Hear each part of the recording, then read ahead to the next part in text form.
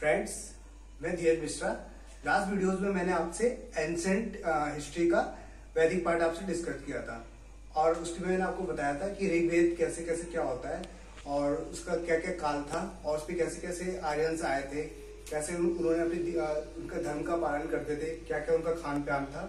उसके बाद से मैंने आपको थोड़ा सा बताया था उत्तर वैदिक काल। उत्तर वैदिक का काल मैंने आपको बताया था कि वो एक हज़ार से छह हज़ार ईसा पूर्व तक था और यहाँ पे इन्होंने उनके जो भगवान थे, पशुपति। ऋग्वेद में क्या था? आर्यंस के जो भगवान, प्रथम भगवान थे, वो इंद्र को अपना बहुत भगवान मानते थे। लेकिन यहाँ पे क्या था? यहाँ पे चेंज हो गया था। यहाँ पे अब ये पशुपति को प्राथमिकता देने लग गए थे। ठीक है? वही मैं आपको बता रहा हूँ। ठीक है?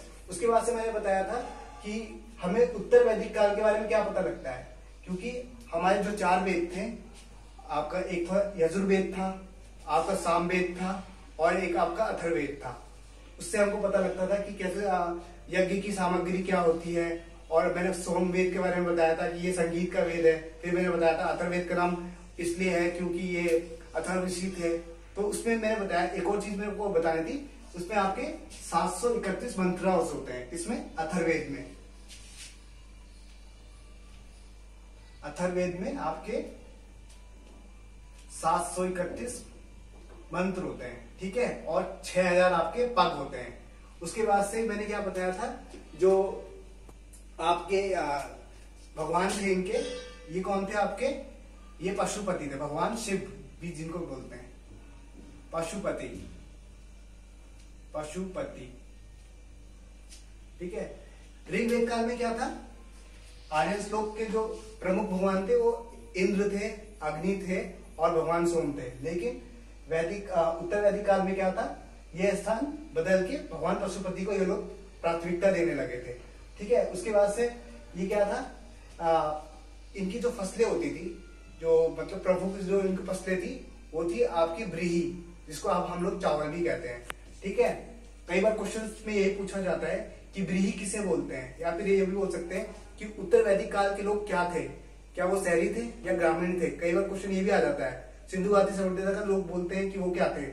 शहरी थे या ग्रामीण थे। ठीक है, उसी तरह कई बार इसका पूछ लेते हैं कि ऋग्वैदिक काल के लोग क्या थे? वो शहरी थे या ग्रामीण थे? तो ये लोग क्या थे? ये लोग थे ग्रामीण। ग्रामीण थे ये लोग, ठीक है? कौन से लोग? उत्तर वैदिक काल के लोग। उत्तर वैदिक, ठीक है? उसके बाद से मैंने बताया था कि जब खुदाई हुई पुरातत्व विभाग ने बताया था तो कुछ जगह से आपके हल निकले थे। कई बार क्वेश्चन आ जाता है कि खेती की हल कहाँ से मिला था उत्तर वैदिक काल का। तो ये आपको कौन सा था? अंटर जी खेड़ा एक जगह है, यहाँ से आपके हल मिले थे। ठीक है? इससे हमें पता लगता है कि उत्तर वैदिक के लोग खेती भी करते थे। ठीक है? फिर कई बार एक क्वेश्चन आता है, नदियों के बारे में पूछ लेते हैं कि पुरुषी क्या थी? कौन सी नदी थी? प्राचीन नाम क्या था उसका? और मॉडर्न नाम क्या है? कई बार उसका मॉडर्न नाम दे देते हैं, कई बार प्राचीन नाम पूछ लेते हैं। तो पुरुषी जो है आपकी, वो रावी नदी है। फिर पूछ लेते, कई बार पूछ लेते, विवासा कौन सी नदी है? ठीक है मॉडर्न टाइम में क्या था उसका नाम? जिसका, आज क्या है उसका नाम? व्यास है। कई बार पूछ लेते सतुद्री क्या है? जिसका अलग नाम है सतलुज फिर थी एक विदास्ता। विदास्ता पे युद्ध भी हुआ था, सिकंदर और पौरस का काफ़ी फ़ेमस युद्ध है। उसका प्राचीन नाम क्या था और मॉडर्न नाम क्या है? झेलम। ठीक है? विदास्था।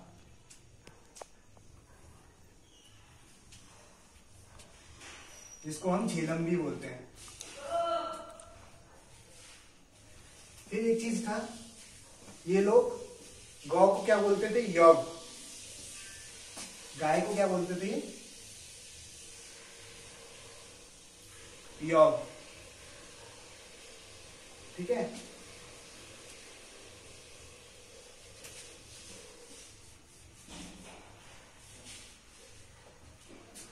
गेहूँ को क्या बोलते थे ये लोग? वीट गेहूँ को ये बोलते थे गोधम। गोधम। कई बार क्वेश्चन आ जाता है। लास्ट टाइम आपका रेलवेज में भी आया था। कि उत्तर वैदिक काल में आर्यंस लोग क्या बोलते थे गेहूँ को? तो उसको बोलते थे गोदम। कई बार चावल पूछ लेता जो मैंने आपको बताया। चावल को क्या बोलते हैं ब्रीही। कई बार पूछ लेते गौवंश। आर्यंस लोगों को गौ बहुत पसंद थी। दाल में भी वही लेते थे। तो उसको क्या बोलते थे? यौग। ठीक है?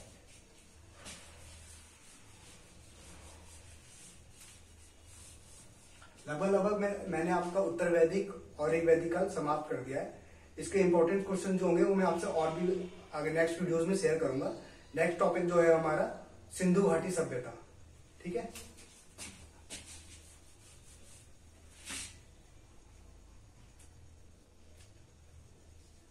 सिंधु घाटी, ठीक है? सबसे पहला क्वेश्चन यही याद आता है कि सिंधु घाटी के लोग क्या थे? ये लोग क्या थे? ये शहरी थे।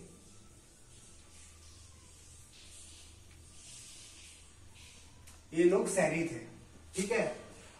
इनकी कोई लिपि नहीं थी क्योंकि सिंधु सभ्यता जो जब ये ढूंढी गई थी तो ये सबसे पहले कहा ढूंढी गई थी? ये आपके आ, जो एक सिंध जगह है जो आप पाकिस्तान में पड़ती है मोहन का नाम आपने सुना होगा।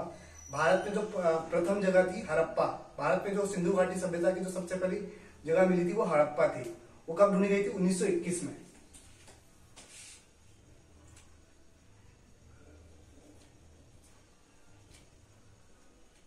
हड़प्पा भी बोल सकते आप? ये ढूंढी गई थी 1921 में। और इसको किसने ढूंढा था? किस भारतीय ने ढूंढा था? दयाराम सहानी ने।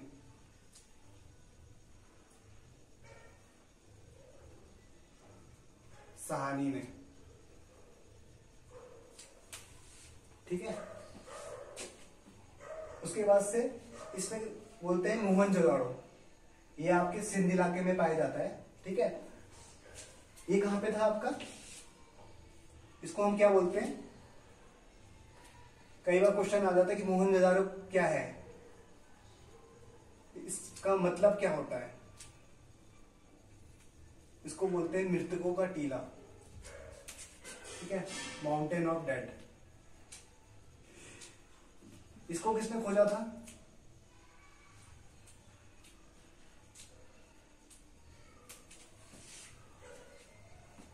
मोहनजोदारो पड़ता है आपके आ, पाकिस्तान में। ननकाना एक जगह है ठीक है? काफ़ी फ़ेमस थी 2019 में काफ़ी सुनने में आई थी। तो ननकाना एक जगह है वहीं पर आपको मोहन मोहनजोदारो पड़ता है ठीक है? ये आपके इंडियन थे पुरातत्व विभाग के। ये थे आपके राखल दास बनर्जी ठीक है? और जो दयाराम सहानी थे वो भी पुरातत्व विभाग के ही थे ठीक है? उन्होंने उन्नीस सौ इक्कीस में ढूंढा था। और इन्होंने कब ढूंढा था? ये 1922 में ढूंढा गया था ठीक है? राखल दास Banerjee.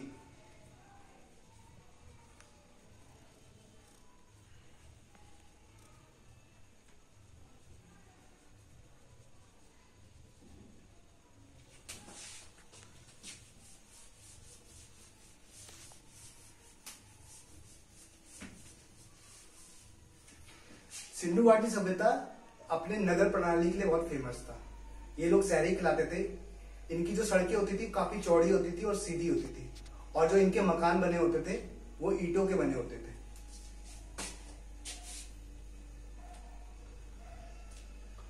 Houses are built by bricks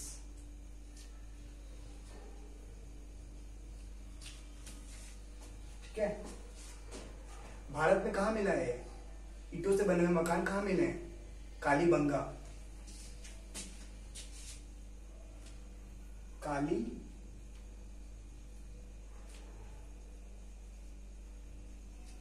Kalibangan ये कहा है आपका? राजस्थान में है आपका।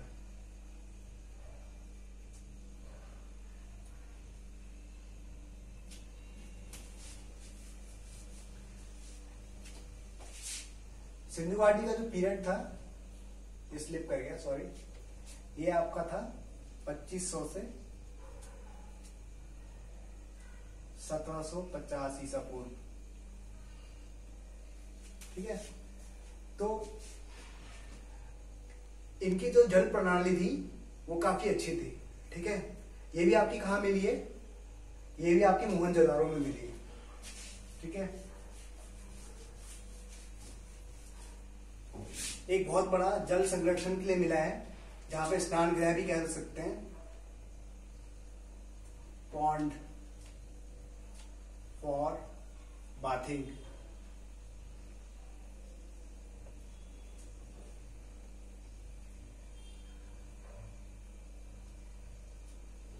ये भी मोहनजोदारो में मिला है।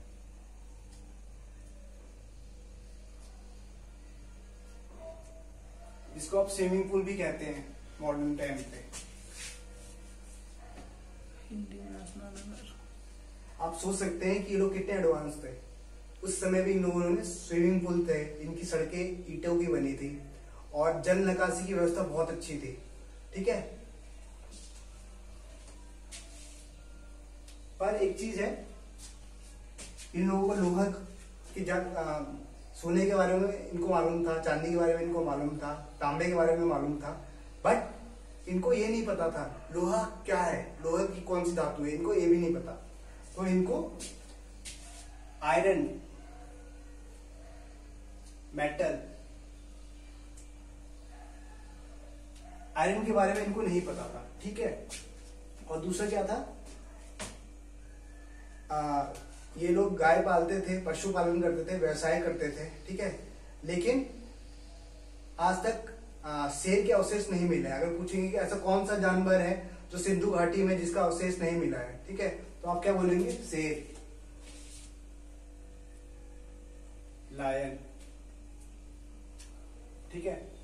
फिर कई बार क्वेश्चन ऐसा पूछता है कि सिंधु घाटी सभ्यता में जो करेंसी मिली गई है उसमें किसकी प्रतिमा है? कई बार पूछ लेते हैं कि जो सिक्के सिंधु घाटी से प्राप्त हुए हैं उसमें किसकी तस्वीर है? हमको मिली है, काशी की मूर्ति मिली है, इसलिए इसको काशी युग भी बोलते हैं।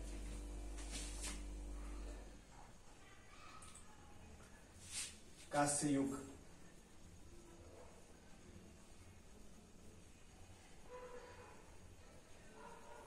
नृत्य करते हुए इसमें आपको काशी की प्रतिमा मिली थी, ठीक है? इसलिए हम उसको काशी युग भी बोलते हैं।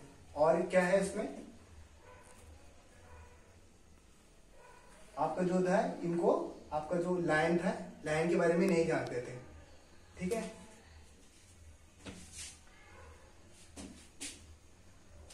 एक क्वेश्चन और आता है इसमें कि बंदरगाह, जो आपका सिंधु घाटी का बंदरगाह है, वो कौन सी जगह पे भारत में मिला है? वो आपका गुजरात में मिला है। गुजरात की लोथल जगह पे। ठीक है? इसको बोलते हैं हम हार्बर। ठीक है? एक चीज़ और मिली है यहाँ पे जैसे जो सब ग्रह वगैरह मिले हैं तो उसमें कई बार आ, मतलब जैसे हम देखते हैं जो आपकी वो जो सब ग्रह होती है उसमें इनमें जो जैसे मियाँ भी वगैरह होते थे स्त्री पुरुष तो एक साथ इनको दफना दिया जाता था। तो ये भी आपको कहा मिला है? लोथल में मिला है। मम्मी टाइप का बोल सकते हैं आप। ग्रेवयार्ड